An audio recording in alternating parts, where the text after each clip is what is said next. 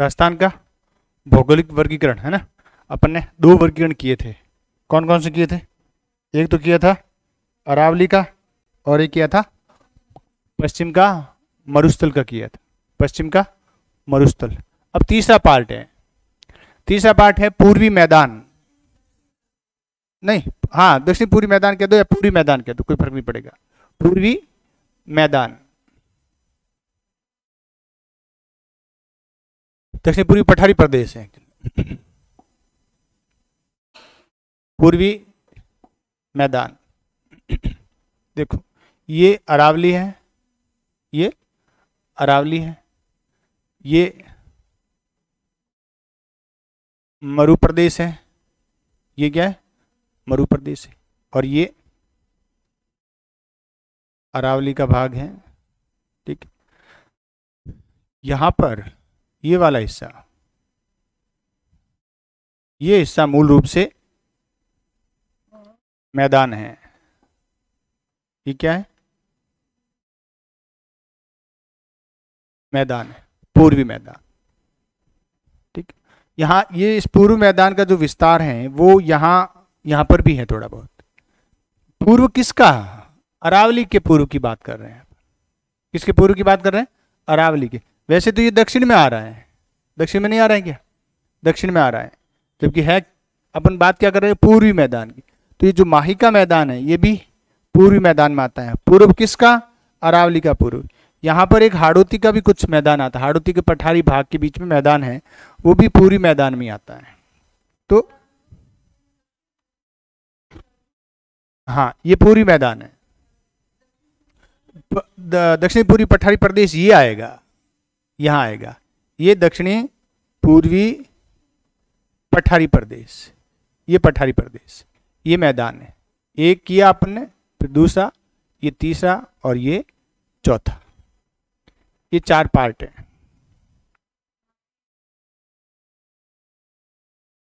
हाँ वो वो सीक्वेंस वो उससे कोई फ़र्क नहीं पड़ेगा। मैंने कौन सा सीक्वेंस करवाया, वो कोई फ़र्क नहीं पड़ेगा। वैसे कोई मतलब नहीं। ठीक है? तब देखो। हेड डाल दो, पूर्वी मैदान। पूर्वी मैदान। पहले देखो, इसका स्थिति कहाँ पर है? कहाँ स्थित है ये? है? गंगा यमुना? नहीं, गंगा यमुना नहीं। ये अरावली अरावली के पूर्व में स्थित। इतना उत्तर उसका एड्रेस यही है कि पूरी मैदान कहाँ है? अरावली के पूर्व में स्थित है। तो इसको लिखो, अरावली के पूर्व में। नदियों के आसपास स्थित है। अरावली के पूर्व में नदियों के आसपास स्थित है। अरावली के पूर्व में नदियों के आसपास स्थित किस किन किन नदियों के पास है ये? तो देखो। यहाँ एक नदी है जिसका नाम है चंबल नदी। यहाँ एक नदी है जिसका नाम है बनास नदी। ये काली सिंध है, ये पार्वती हैं, ये यहाँ पर आहू नदी है, ये यहाँ पर परवन नदी है और ये निवाज है। इसके अलावा यहाँ पर बामनी है ये कुराल है, ये चाकण है और ये मेज नदी है। हाँ ये देखो देखो, मैंने सारी कहाँ मिलाई है? किसमें मिलाई है? चंबल में मिलाई है। ये मुख्य रूप से किसमें मिलाई है? चंबल में मिलाई है। इस मैदान की मुख्य नदी है ये। पूरी मैदान की मुख्य नदी कौन सी है? चंबल नदी है। और चंबल नदी के द्वारा निर्मित ही मैदान है ये मुख्य रूप से। ठीक है? ध्यान रखना है। वैसे इसमें बनास का भी योगदान है। बनास का भी योगदान है। यहाँ एक नदी आएगी जिसका नाम है बाण गंगा नदी। वैसे अपन नदियाँ करेंगे, उस समय इसको डिटेल करेंगे।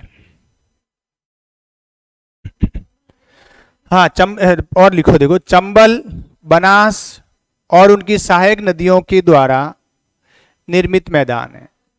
चंबल, बनास और उनकी सहायक नदियों के द्वारा निर्मित मैदान। सहायक नदियों के द्वारा निर्मित मैदान।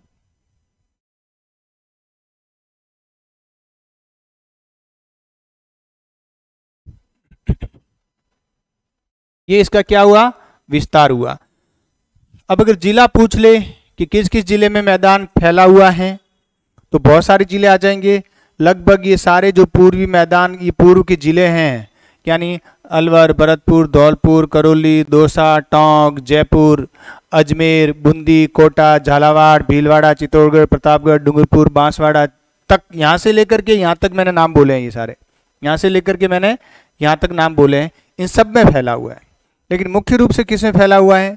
जहाँ ऐसा जिला जहाँ पर अधिकांश मैदान है। तो वो मुख्य रूप से किस किसमें फैला हुआ है? अलवर में। लिखो, मैदान का मुख्य विस्तार वाले ज़िले या ज़िले लिख लो। हाँ जिलेवार विस्तार लिख लो। जिलेवार विस्तार लिख लो। अलवर। अलवर। भरतपुर।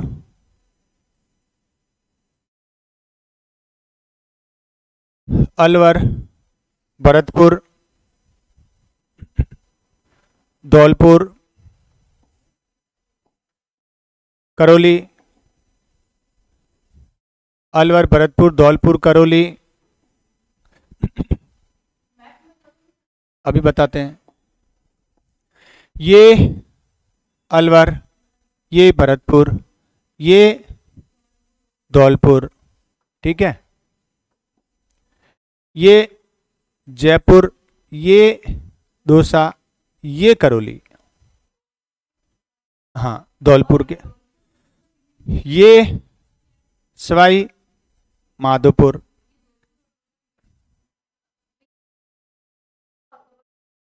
ये दोसा ये ये ये दोसा है। हाँ करौली है। करौली का कॉर्नर है, वो उधर घुसा हुआ है उधर।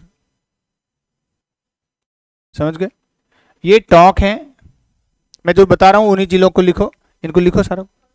करौली, धौलपुर दोसा जयपुर। टोंक। बूंदी, भीलवाड़ा, बस, इतने ज़िले लिखने हैं। वैसे आगे जब बढ़ेंगे तो मैं बांसवाड़ा में भी मैदान बताऊँगा। लिखना है। स्वयं माधोपुर लिखना है।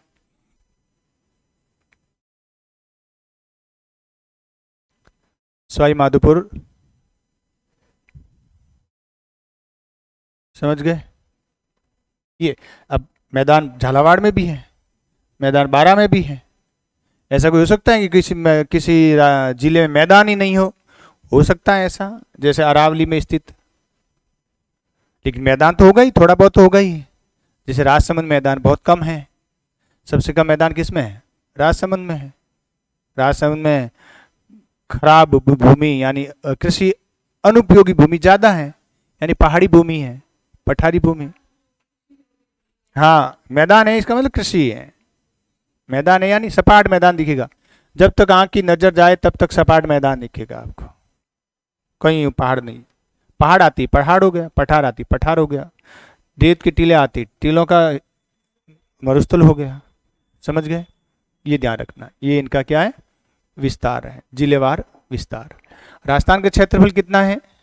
तीन लाख बयालीस हज़ार दो सौ दो सौ दो, तीन लाख बयालीस हज़ार दो सौ उनचालीस। तीन लाख बयालीस हज़ार दो सौ उनचालीस पॉइंट चौहत्तर लाख वर्ग किलोमीटर है। इस क्षेत्रफल का मरुस्थल कितना है? मरुस्थल कितना है? इकसठ पॉइंट ग्यारह प्रतिशत है। इस किसका राजस्थान के, लिखो, कुछ पॉइंट लिखो, देखो। मरुस्थल का सॉरी राजस्थान के कुल क्षेत्रफल का इकसठ पॉइंट ग्यारह प्रतिशत। वापस लिखो वापस लिखो। हाँ वापस लिखो। मैं कुछ कंपेयर करके बता रहा हूँ। राजस्थान के कुल क्षेत्रफल का इकसठ पॉइंट ग्यारह प्रतिशत। राजस्थान के कुल क्षेत्रफल का इकसठ पॉइंट ग्यारह प्रतिशत। मरुस्थल हैं। इकसठ पॉइंट ग्यारह परसेंट या कहीं कहीं साठ भी लिखा होगा। इकसठ पॉइंट ग्यारह प्रतिशत क्या है? मरुस्थल हैं मरुस्थल हैं, ठीक है? तेईस प्रतिशत भाग पर पूर्वी मैदान है, तेईस प्रतिशत भाग पर पूर्वी मैदान है। यानी जो पूर्व का मैदान है, वो कितने भाग पर है? जो अपन कर रहे हैं, वो तेईस प्रतिशत भाग पर है। कितना है? तेईस परसेंट भाग पर। अब जो मरुस्थल है मरुस्थल है, मरुस्थल में राजस्थान की साठ प्रतिशत जनसंख्या चालीस परसेंट जनसंख्या रहती है। साठ परसेंट भाग पर चालीस परसेंट जनसंख्या रहती है। ठीक है? आई बात समझ में? राजस्थान का है, जो एरिया है, ये वाला, इसमें इसमें कितने लोग रहते हैं? क्या दिक्कत है इसको?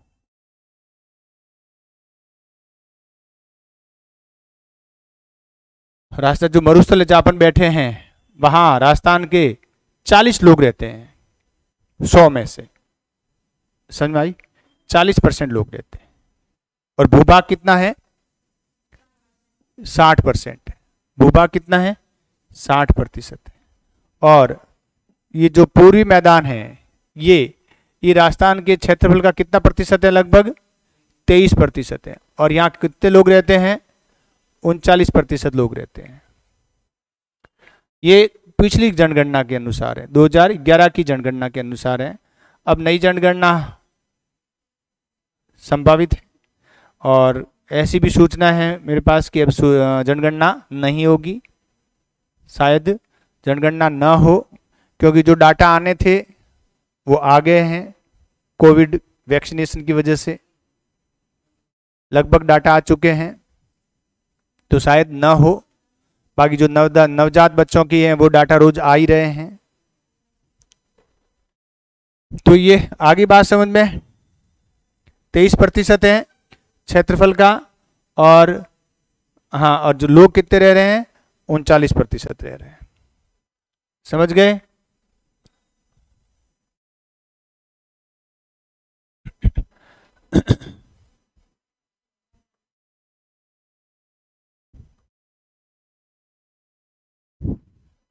विशेषताएँ विशेषताएँ। अब मरुस्थल की विशेष इस, पूरी मैदान की विशेषताएँ लिखनी है अपन को, देखो।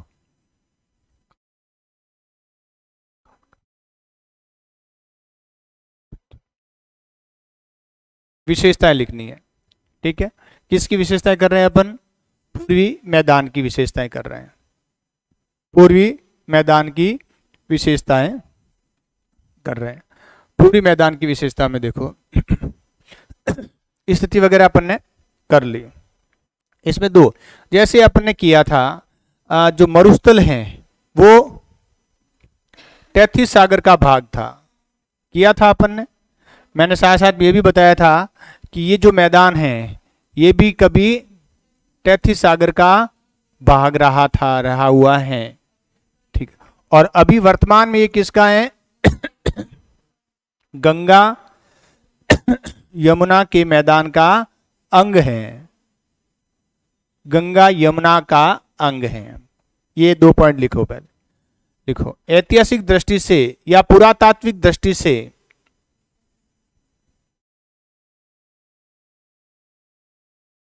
पुरातात्विक काल की दृष्टि से या इसको ऐसे कहते भूगर्भिक काल की दृष्टि से भू गर्भिक काल की दृष्टि से भूगर्भिक काल की दृष्टि से, यह मैदान टैथिस सागर का अंग रहा है।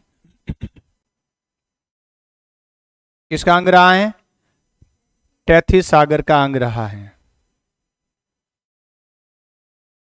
किसका अंग रहा है? टैथी सागर का अंग रहा है। ध्यान रहे इसको। और वर्तमान में किसका भाग है? वर्तमान में ये गंगा यमुना के मैदान का अंग है। गंगा यमुना के मैदान का अंग है।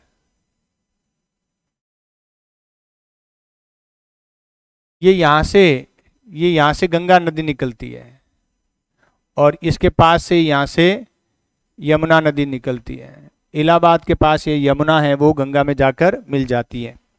तो ये वाला हिस्सा, ये यहाँ से जितना भी बारिश, अब मैदान का भाग कैसे हुआ ये? भाग कैसे हुआ?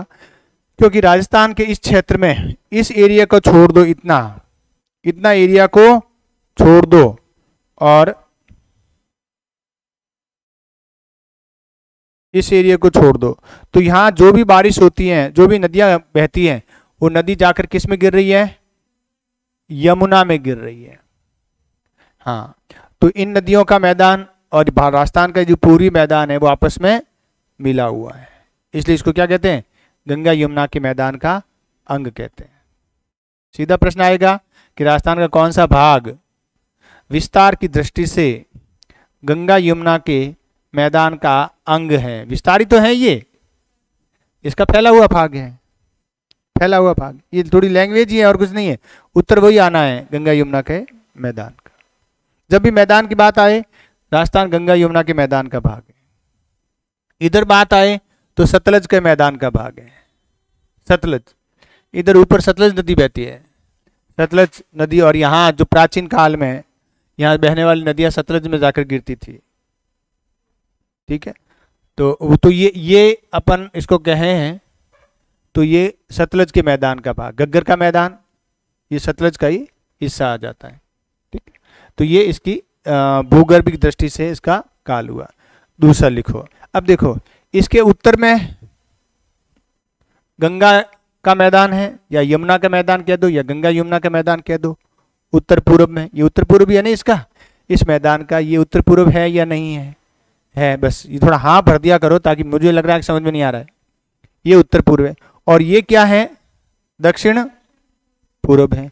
ये क्या है? दक्षिण पश्चिम है। दक्षिण पश्चिम में जाना ही नहीं है अपन को।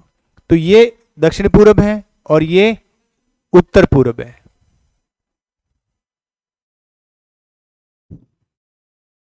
ये क्या है? उत्तर पूर्व है और ये दक्षिण पूर्व है।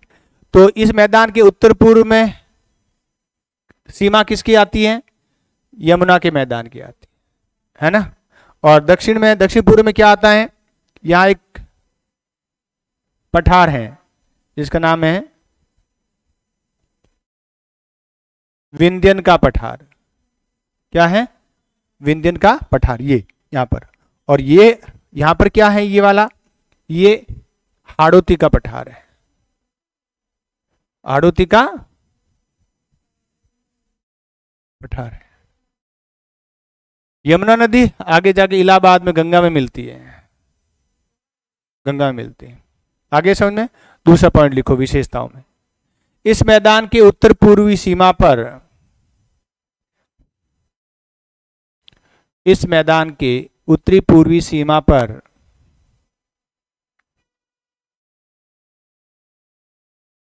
उत्तरी पूर्वी सीमा पर यमुना का मैदान स्थित है।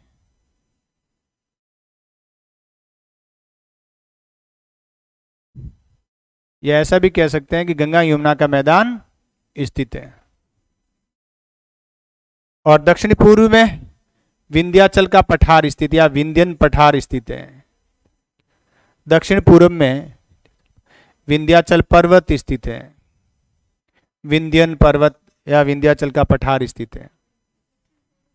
दक्षिण पूर्व में विंध्याचल का पठार और हाड़ोती का पठार स्थित है।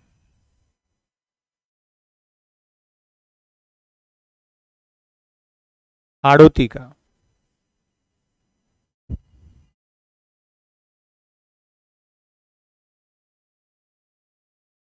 आड़ोती का पठार स्थित है। समझ गए? देखो, इस मैदान में जलोढ़ मिट्टी पाई जाती है, या इसको काँप मिट्टी भी कहते हैं, इसी को कच्छारी भी कहते हैं। इसी को दोमट भी कहते हैं। देखो, इस मैदान में या यह मैदान काँप कच्छारी ऑब्लिक करके लिखते रहना, दोमट, काँप कच्छारी दोमट जलोड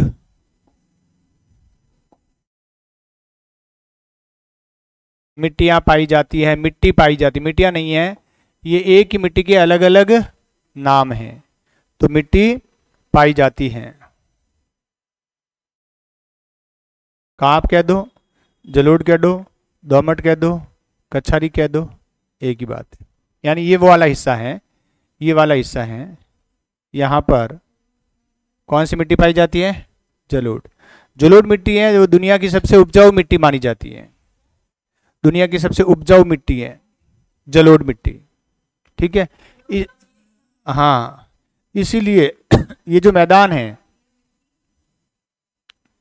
राजस्थान का सबसे उपजाऊ मैदान है ये।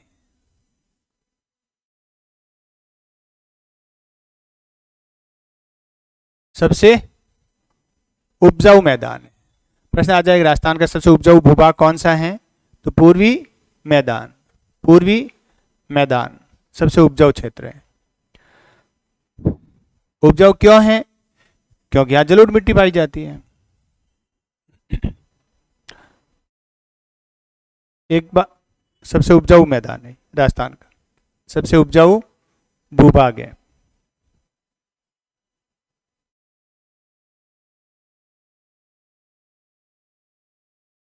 सबसे उपजाऊ भूभाग हैं ये। ध्यान रखना। अब या फ़सलें कौन कौन सी होती हैं?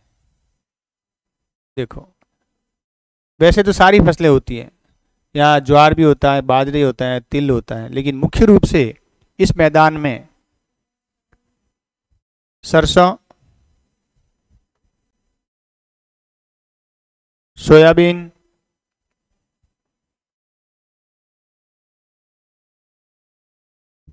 गेहूँ।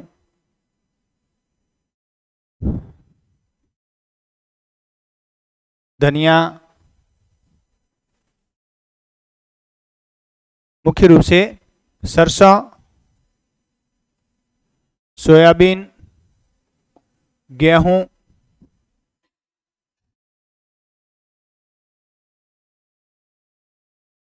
धनिया सर्वाधिक होता है।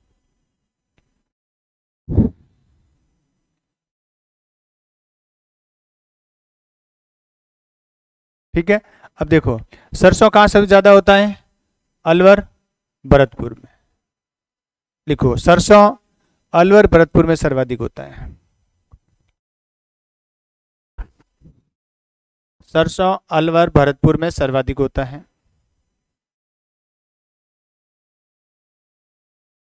ठीक है? ध्यान रहे। धनिया, कोटा बारह में सर्वाधिक होता है। कोटा और बारह में। विशेषकर बारह में बहुत ज़्यादा होता है। धनिया। कोटा बारह में सर्वाधिक होता है।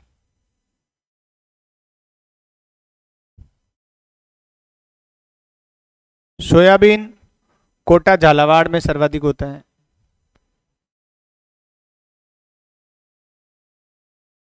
कोटा झालावाड़ में। कोटा और झालावाड़ में।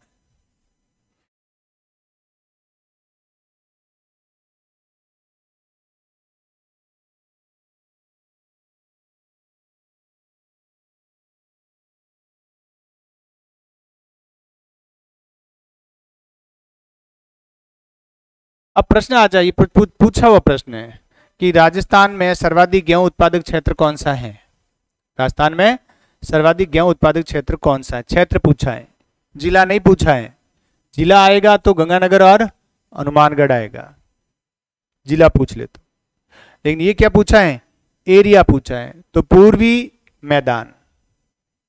ये पूरा, ये मालपुरा करौली का मैदान है जहाँ मैंने गोला किया है। अपन जब मैदानों का वर्गीकरण करेंगे उसमें एक मालपुरा करौली का मैदान करेंगे।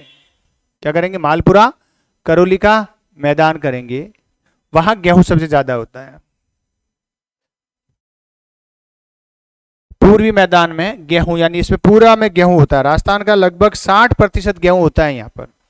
किसमें? हाँ ये। राजस्थान का 60 प्रतिशत गेहूँ उत्पादन होता है यहाँ पर। इस मैदान में 60 परसेंट। ये मैंने गोला किया, इतना ही नहीं है। इसका ये तो मुख्य केंद्रीय भाग है इसका। लेकिन ये ये कोटा में, यहाँ चित्तौड़गढ़ में, डूंगरपुर में, बांसवाड़ा में ये पूरा, पूरी मैदान ही है ये।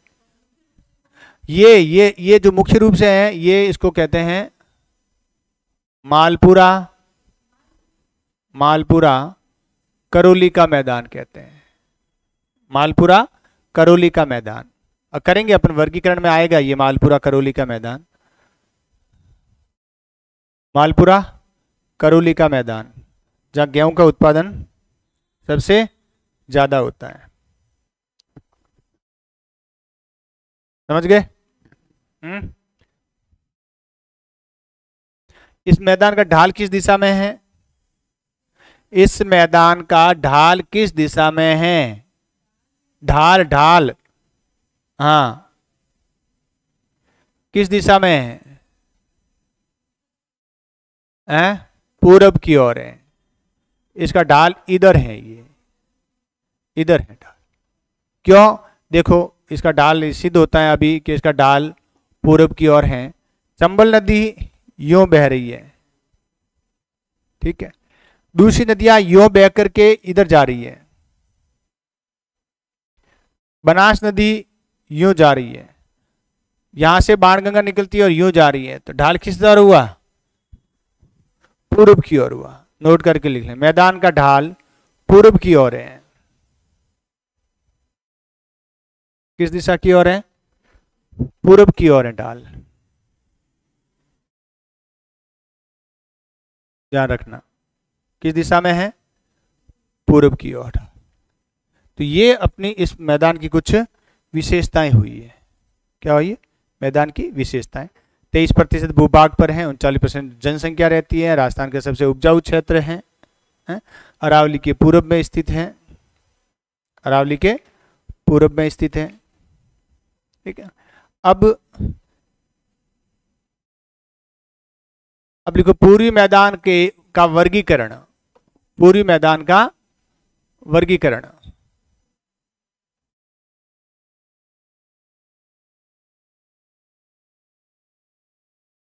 पूर्वी मैदान का वर्गीकरण।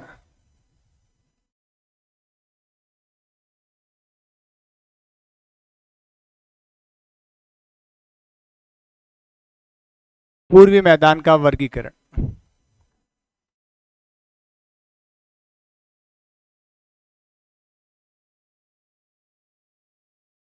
हाँ पहले को चंबल का मैदान।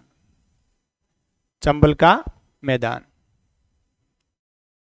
नाम से स्पष्ट है, चंबल का मैदान, इसका मतलब चंबल और उसकी सहायक नदियों के आसपास फैला हुआ है। अब चंबल और उसकी सहायक नदियाँ कौन कौन सी हैं?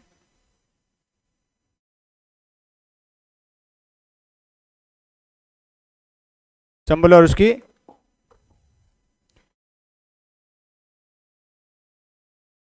ये चंबल ये चंबल।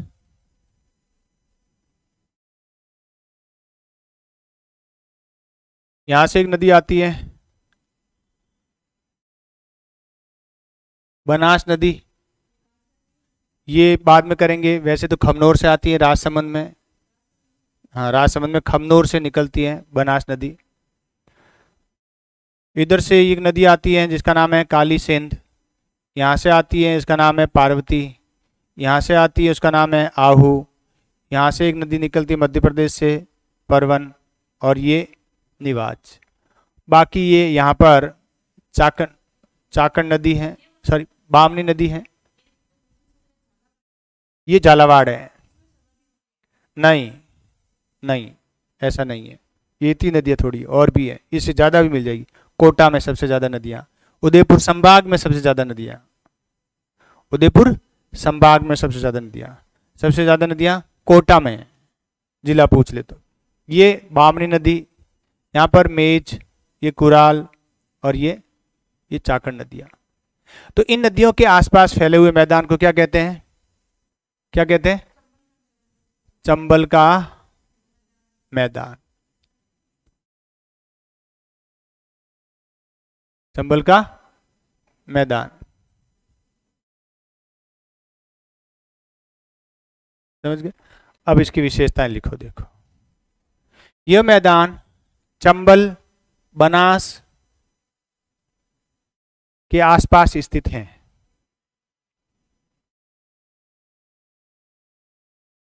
चंबल, बनास और उनकी सहायक नदियों के आसपास स्थित है।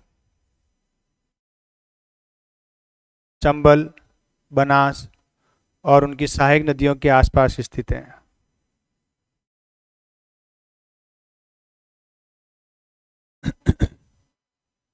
चंबल बनास और उसकी सहायक नदियों के आसपास स्थित है।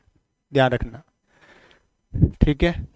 अब ये जो मैदान है, इसमें मैदान भी है, इसमें पठार भी हैं, इसमें पहाड़ियाँ भी हैं, इसमें घाटियाँ भी मिलेगी। तो इस मैदान में बीहड़ सबसे ज़्यादा मिलेंगे। क्या मिलेंगे? बीहड़ सबसे ज़्यादा मिलेंगे। ठीक है? या इन बिहड़ को उत्खात भूमि भी कहते हैं। पहाड़ी क्षेत्र, उबड़ खाबड़ कंदराओं वाला भूभाग को क्या कहते हैं? बीहड़ कहते हैं। तो एक नोट करके लिख लो। चंबल नदी के आसपास बीहड़ सर्वाधिक पाए जाते हैं। जिन्हें उत्खात भूमि भी कहते हैं। जिन्हें उत्खात भूमि भी कहते हैं। उत्खात भूमि। क्या कहते हैं? उत्खात भूमि कहते हैं। चंबल नदी के आसपास। होता क्या है? बता रहा हूँ देखो। लिखो बीएड का अर्थ लिख लो। उबड़ खाबड़ पठारी पहाड़ी भाग। उबड़ खाबड़ पहाड़ी पठारी भाग।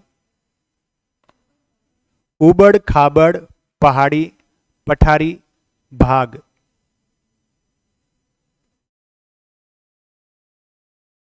भाग।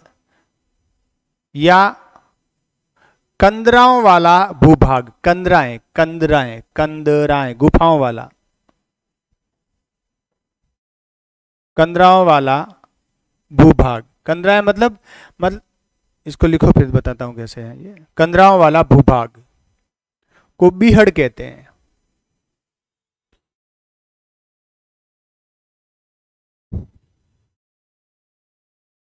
कंदराओं वाले भूभाग को क्या कहते हैं? बीहड़ कहते हैं। क्या होता है? चंबल नदी है। चंबल की सहायक नदियाँ हैं।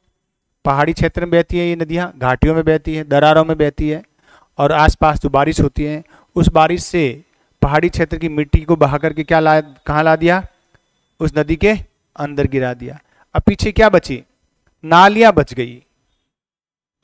कभी देखा नहीं? सपाट मैदान में बारिश होती है या ढाल वाले थोड़े से मैदान बारिश होती है तो छोटी छोटी नालियाँ बन जाती है। छोटी छोटी नालियाँ बन जाती है ना? चिकनी मिट्टी और बारीक मिट्टी तो बह करके चली जाती है और पीछे क्या रहता है? कंकड़ पत्थर रह जाते हैं। छोटी छोटी नालियाँ। अब वो कल्पना करो कि वो नालियाँ बड़ी बड़ी है।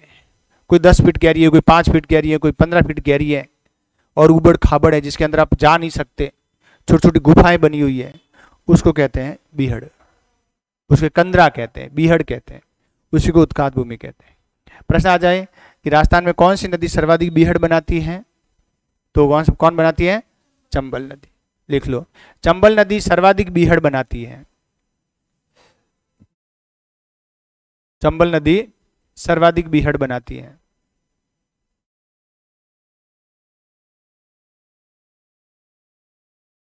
क्या बनाती है? सर्वाधिक बीहड़। और बीहड़ कितना लंबा है ये देखो। यहाँ से, यानी कोटा से, ये कोटा से, यहाँ से लेकर के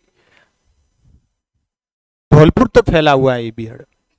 और इस बीहड़ की कुल लंबाई 480 किलोमीटर के आसपास है। कितनी? बीहड़ की लंबाई कितनी है? 480 किलोमीटर है।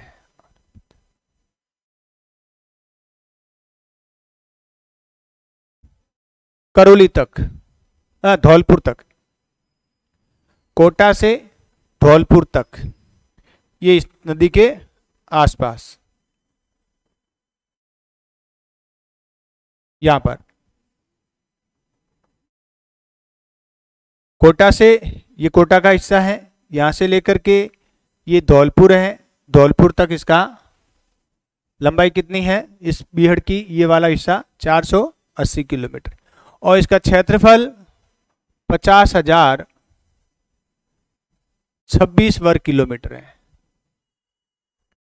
पचास हज़ार छब्बीस वर्ग किलोमीटर है। किसका? बीहड़ का क्षेत्रफल। कितना? जो बीहड़ है, उसका क्षेत्रफल पचास हज़ार छब्बीस किलोमीटर है। वर्ग किलोमीटर वर्ग किलोमीटर। समझ गए? ध्यान रखना ही अब बीहड़ कौन कौन से ज़िले में पाए जाते हैं? ये प्रश्न कई बार पूछा हुआ है। लिख लो, बीहड़ों के विस्तार वाला जिला।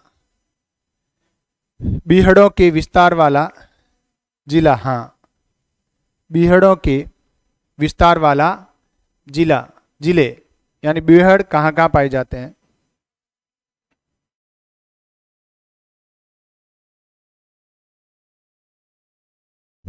देखो धौलपुर। इधर देखते जाओगे, समझ में ज़्यादा आएगा।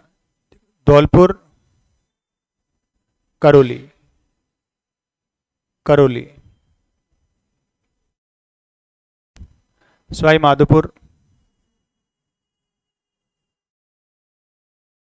बूंदी। बूंदी। ये बूंदी। कोटा।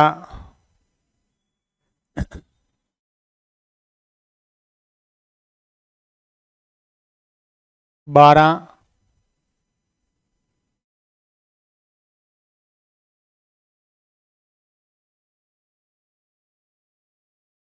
टोंक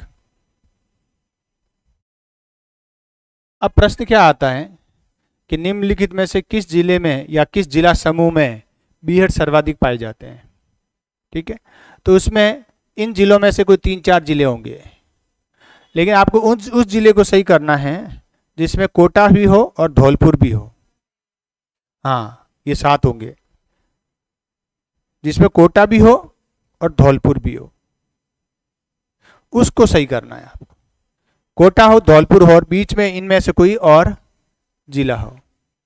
यूँ नहीं कोटा धौलपुर के साथ पाली दे दे तो कैसे होगा? यहाँ बी है ही नहीं। कोटा धौलपुर हो। और इनमें से कोई साथ में कोई एक जिला और हो। कोटा धौलपुर होना ज़रूरी है। समझ गए? ये चंबल नदी के द्वारा क्या बनाए जाते हैं? बीहड़ बनाया जाता है।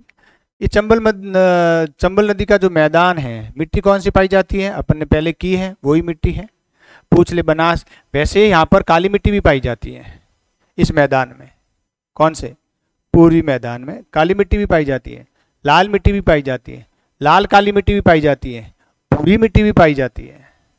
करेंगे, कहाँ कहाँ है, उनको अलग अलग करेंगे अपन। समझ गए ये? ठीक है?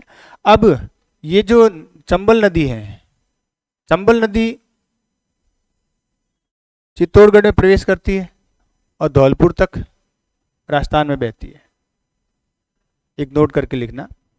चंबल नदी चित्तौड़गढ़ में प्रवेश कर।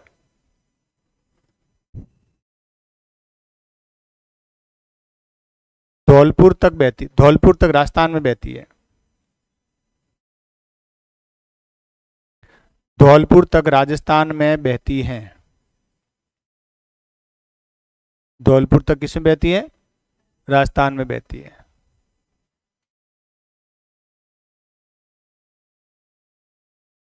समझ गए? ध्यान रख। अब ये नदी क्या है? ये नदी कहीं पर तो सपाट क्षेत्र में बहती है और कहीं पर ये खड्डे में बहती है। खड्डे मतलब गहरी खाई में बहती है। ठीक है? और ये ध्यान रखना है कि कहाँ पर ये खाई में बहती है और कहाँ पर ये मैदान में बहती है। यानी यहाँ देखोगे, ये राजस्थान में प्रवेश करती है यहाँ से, ये मध्य प्रदेश का हिस्सा है। और ये राजस्थान में यहाँ से प्रवेश करती है। यहाँ पर ये जो चित्तौड़गढ़ का भैंसरोडगढ़ वाला ब्लॉक है यहाँ पर ये नदी है, वो थोड़ी सी सपाट मैदान में बहती है। यानी जो उसकी नदी का बहाव है, वो थोड़ा यूँ है। समझ गए? तस्त्री नुमा है यूँ है, कम गहरा है। लेकिन जैसे यहाँ एंटर करेगी कोटा में तो फिर ये गहरी खाई में बहती है यहाँ पे। यहाँ से लेकर क्या करती है? गहरी खाई में बहती है। जैसे नहर होती है ना, नहर देखिए गहरी होती है। नहर में हाथ डाल सकते हो क्या आप? क्यों नहीं डाल सकते? ज़रूरी थोड़ी पानी हाथ में आए। हाथ तो डाल ही सकते हो। हाथ क्यों नहीं डाल सकते? पानी हाथ में आए, ये ज़रूरी नहीं। गहरी होती है। इसी प्रकार ये यहाँ कोटा से लेकर के, ये कोटा कोटा वाला एरिया में, यहाँ से, यहाँ लगभग 100 किलोमीटर की लंबाई में ये नदी गौर्ज में बहती है। गौर्ज यानी खड्डे में बहती है। गहराई में। गौर्ज यानी खड्डे को कहते हैं। जहाँ आप हाथ नहीं डाल सकते। केवल देख सकते हो हाँ ये नदी बह रही है। कहीं कहीं तो बाहर भी आप बैठ करके नहा सकते हो, हाथ धो सकते हो। ये इधर इस वाले एरिया में, यहाँ तक। इसके बाद यहाँ नहीं। फिर यहाँ ठीक है, यहाँ आप उसके अंदर बोट वगैरह, नाव वगैरह चलती, यहाँ बोटिंग वगैरह नहीं होती है। तो गहरी है, खड्डे में। आदमी ठेठ ऊपर है, नदी ठेठ नीचे है। ठीक है? तो लिखो, कोटा में ये नदी या चित्तौड़गढ़ से लेकर कोटा तक चित्तौड़गढ़ वाला ये हिस्सा, कौन सा वाला? भैंसोड़गढ़ वाला हिस्सा। ये ये वाला हिस्सा, चित्तौड़गढ़ यहाँ पर भी है। ये भी चित्तौड़गढ़ है।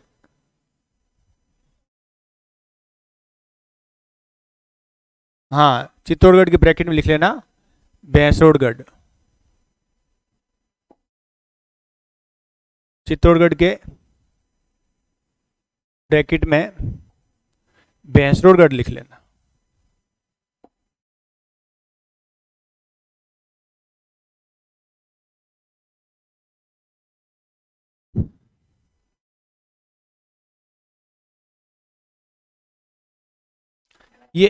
हाँ ये ये ये भैंसरोडगढ़ वाला ब्लॉक है।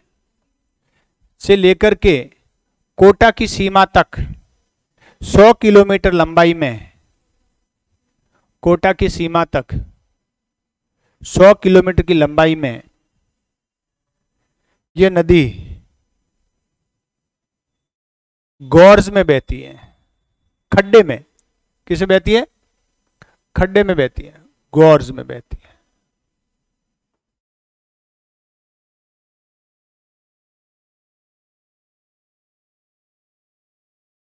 ठीक है? ध्यान रखना है इसका। पूछ लेते हैं कभी कभी ठीक है? अब देखो, ये एक पार्ट हुआ अपना। मैंने कहा था ना कि मैदान का वर्गीकरण करेंगे। ये चंबल का, चंबल नदी का मैदान था। दूसरा लिखो, बनास नदी का मैदान। क्या लिखोगे? बनास नदी का मैदान। या बनास का मैदान। बनास का मैदान।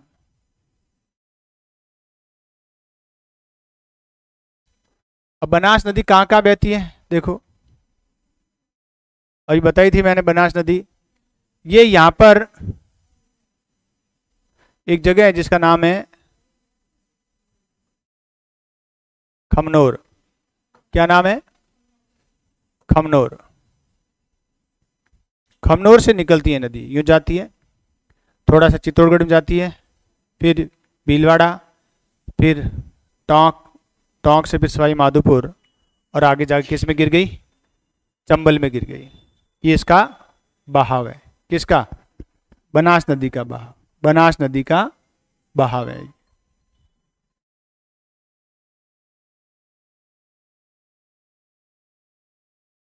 बनास नदी का ये बहाव है।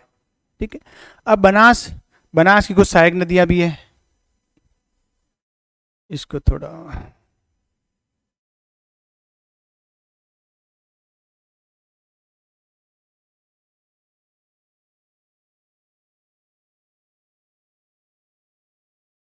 ये बनास यहाँ कौन सी जगह है? खमनूर बाड़मेर में कहा है? ये क्या बनाया मैंने? लिखा है मैंने वहाँ पर। ये बाड़मेर में खमनूर। यहाँ है खमनूर। तो लिखूँगा तो कहीं ना कहीं ना, ये तीर बना रखा है ना।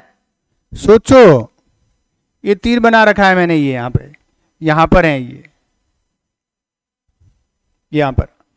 यहाँ से एक नदी निकलती जिसका नाम है बेडच। बेडच। यहाँ से एक नदी निकलती जिसका नाम है कोठारी। यहाँ से एक नदी निकलती जिसका नाम है खारी। यहाँ पर नदी निकलती है जिसका नाम है मानसी। यहाँ पर एक हाँ मानसी। और यहाँ पर एक नदी निकलती है जिसका नाम है ढूंढ। हाँ यहाँ से एक नदी निकलती है जिसका नाम है मैनाल। ये सारी नदियाँ मिलकर के बनास मैदान का निर्माण करती हैं। लिखो बनास, बेड़च बनास।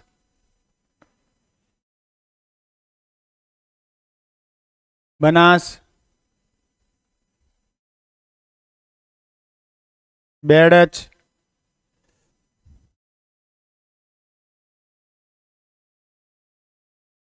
कोठारी।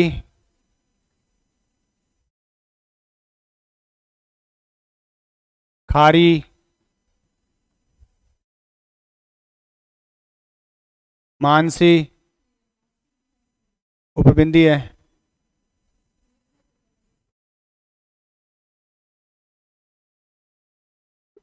ये ढूंढ। ये नदियाँ मिलकर क्या बनाती हैं? बनास का मैदान बनाती है। बनास का मैदान बनाती है।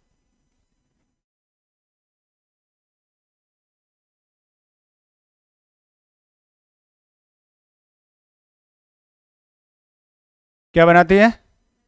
बनास का मैदान। ठीक है? हाँ बनास नदी है वो, खमनोर से निकलती है। खमनोर से निकलती है। कोठारी नदी है वो, राजसमंद में। ज़िले याद कर लो, मैं ज़िले आइंदा से बताऊँगा नहीं। ये याद कर लो ज़िले। जो कोठारी नदी है, वो दिवेर से निकलती है। ये हाँ दिवेर से। ये, देखो, ये बैडच नदी, ये बनास नदी, ये कोठारी नदी, ये खारी नदी, ये मानसी और ये ढूंढ। हाँ कोठारी कहाँ से निकलती है? दिवेर से निकलती है राजसमंद में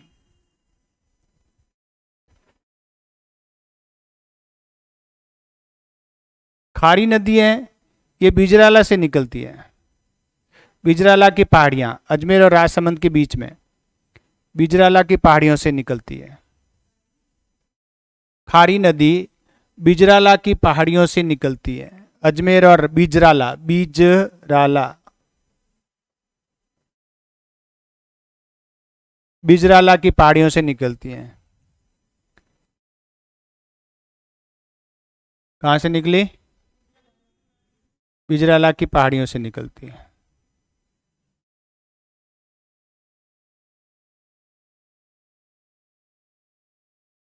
ये इतना ज़रूरी नहीं है, ये इतना ज़रूरी नहीं है कहाँ से निकलते हैं। हाँ? बेडच, उदयपुर के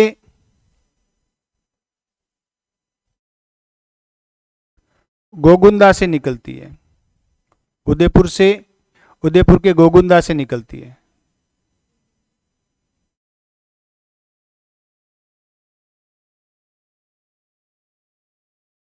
उदयपुर के गोगुंदा से निकलती है। ध्यान रखना, ठीक? तो ये ये जो पूरा मैदान बनता है, ये पूरा मैदान, यूँ वाला, ये वाला हिस्सा, ये पूरा क्या कहलाता है? बनास का मैदान कहलाता है। क्या कहलाता है? बनास का मैदान। अब इसकी विशेषताएँ लिखो, देखो। इस मैदान का विस्तार किस किस ज़िले में है? पहले ज़िले लिखो। बनास के मैदान का विस्तार।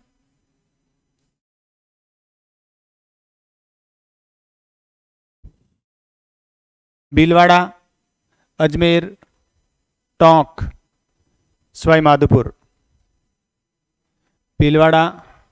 अजमेर, टोंक सवाई माधोपुर करौली।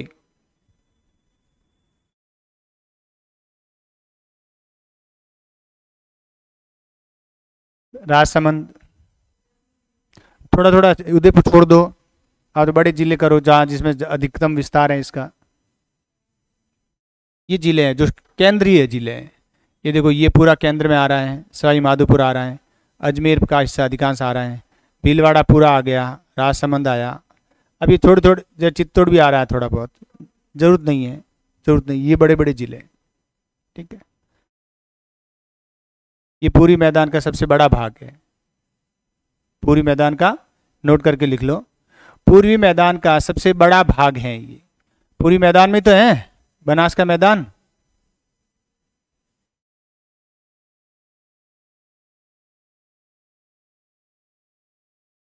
पूर्वी मैदान का सबसे बड़ा भाग है।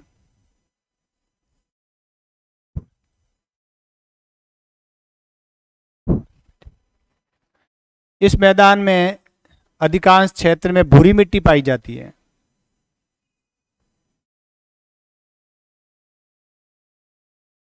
इस मैदान में भूरी मिट्टी अधिक पाई जाती है।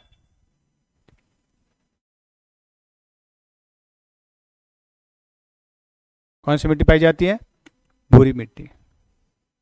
ठीक है, अब देखो, ये ये वो हिस्सा है, ये टॉक है, ठीक है, और ये करोली है, ये क्या है? करोली। इस करोली और टोंक के बीच में है, ये वाला हिस्सा। एक मैदान स्थित है, जो बनास के मैदान का ही भाग है, लेकिन इस मैदान का नाम अलग है। समझना। क्या कह रहा हूँ? टोंक और करोली के बीच का भाग, ये वाला हिस्सा, ये वाला हिस्सा। यहाँ एक मैदान स्थित है, जो बनास के मैदान का भाग है। लेकिन लेकिन नाम उसका थोड़ा अलग है। टोंक में एक जगह है जिसका नाम है मालपुरा। टोंक में एक जगह है जिसका नाम है मालपुरा। और एक हो गया करोली। तो इस मैदान का नाम क्या है? मालपुरा करोली का मैदान। प्रश्न क्या आया हुआ है? प्रश्न ये आया हुआ है कि मालपुरा करोली का मैदान किसका भाग है? बनास के मैदान का भाग। बनास का मैदान पूरी मैदान का भाग है। पूरी मैदान गंगा यमुना के मैदान का भाग है। समझ गए? लिख लो इसको। मालपुर लिख लो, मालपुरा करोली का मैदान।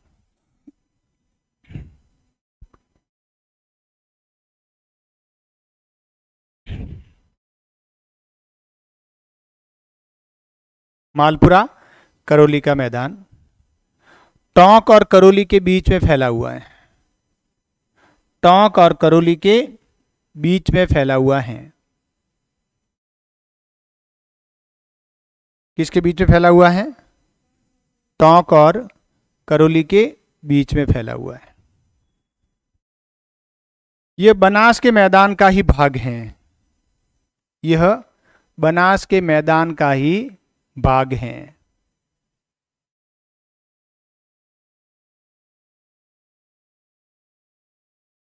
किसका भाग है?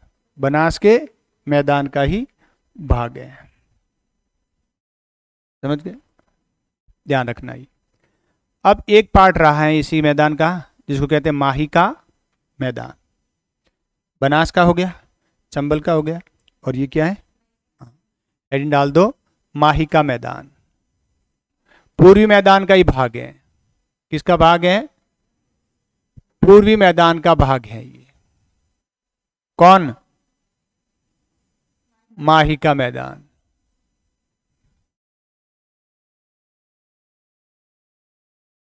पूर्वी मैदान का ही भाग है।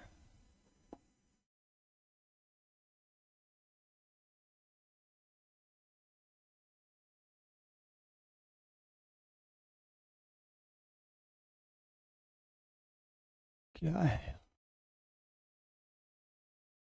ये वाला हिस्सा है। कौन सा वाला हिस्सा? ये वाला। डूंगरपुर बांसवाड़ा। लिखो, यह मैदान डूंगरपुर बांसवाड़ा में फैला हुआ है।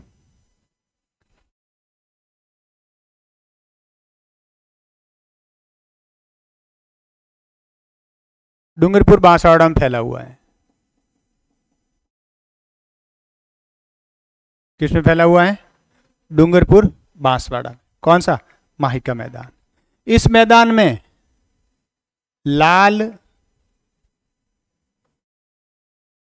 लोमी मिट्टी पाई जाती है। लाल लोमी, लाल चिकनी मिट्टी।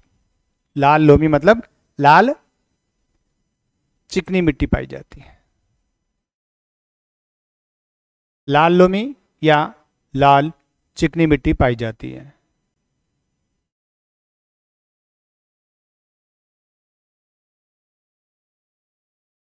चिकनी मिट्टी। इस मैदान में खेती किसकी होती है? कपास होता है। चावल होता है। अमेरिकन कपास होता है यहाँ पर। अमेरिकन, जिसको नरमा कहते हो आप, चावल होता है, कपास होता है, अमेरिकन नरमा होता है। ठीक प्रश्न आया हुआ है एक बार कि राजस्थान के किन जिलों में अमेरिकन नरमा की खेती होती है? अमेरिकन नरमा की खेती होती है किन जिलों में? तो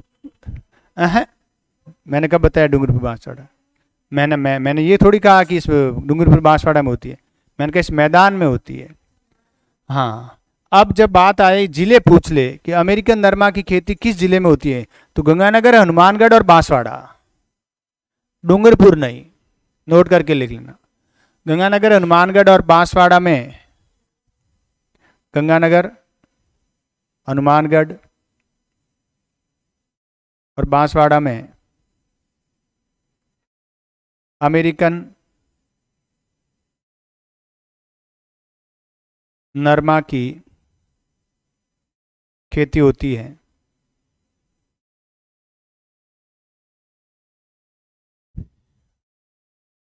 यहाँ देसी कपास भी होता है, चावल भी होता है। चावल भी कौन सा वाला? हाँ बासमती चावल होता है। यहाँ कौन चावल होता है? बासमती चावल होता है। ध्यान रखना। एक चीज़ और है यहाँ पे। चावल हो रहा है, बासमती कपास हो रहा है। इस एरिया में मक्का भी अधिक होता है। मेवाड़ में, लिख लो, इस मैदान में मक्के की खेती भी सर्वाधिक होती है। मक्का की खेती भी सर्वाधिक होती है।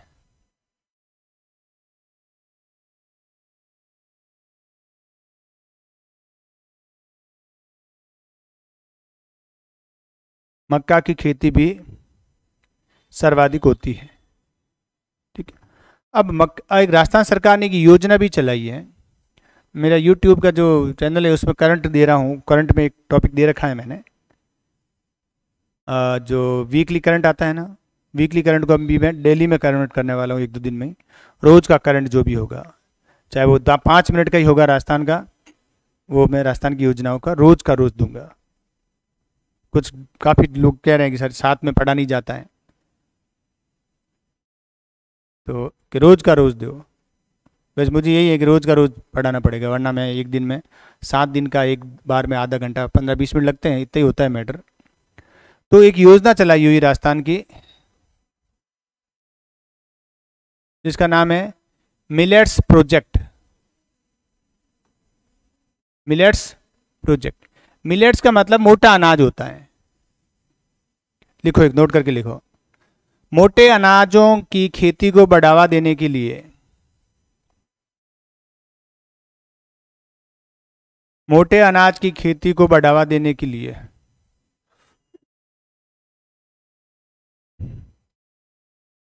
राजस्थान सरकार ने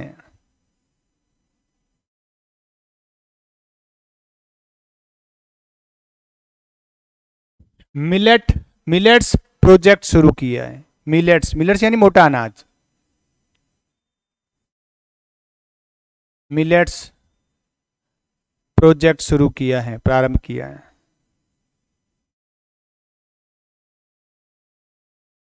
प्रश्न आ जाए मिलेट्स प्रोजेक्ट का संबंध किससे है? तो मोटा अनाज जैसे जैसे मक्का, ज्वार, बाजरा, रागी, लेकिन मुख्य रूप से बाजरे के लिए है ये। जो मिलेट्स प्रोजेक्ट हैं, उसका मुख्य उद्देश्य बाजरा है और फिर मक्का है। बाजरा और मक्का है। हाँ अपने यहाँ नहीं होती इतनी। रागी खाना होता है। आदिवासियों का भोजन है। तो मुख्य रूप से जो मिलेट में आता है, राजस्थान में जो प्रोजेक्ट चल रहा है, वो मक्का और बाजरा के लिए चल रहा है। पश्चिमी राजस्थान में बाजरा के लिए और पूर्वी राजस्थान दक्षिणी राजस्थान में मक्का के लिए। मेवाड़ मक्का उत्पादन में प्रसिद्ध है।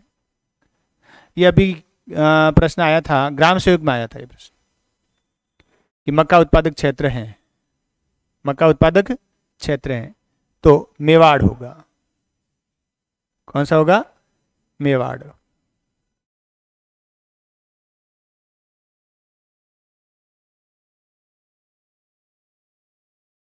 समझ गए? तो ये अपना एक वर्गीकरण कंप्लीट हो गया, यानी पूर्वी मैदान। हाँ हाँ। इसकी विशेषताएँ पढ़ी, स्थिति पढ़ी और इनका विस्तार पढ़ा। अब एक चौथा पार्ट रहा है, दक्षिणी पूर्वी पठारी प्रदेश है, जो ये ये वाला हिस्सा होगा। ये बहुत इंपॉर्टेंट है। ज़्यादा बड़ा नहीं है, लेकिन इंपॉर्टेंट ज़्यादा है। ठीक है?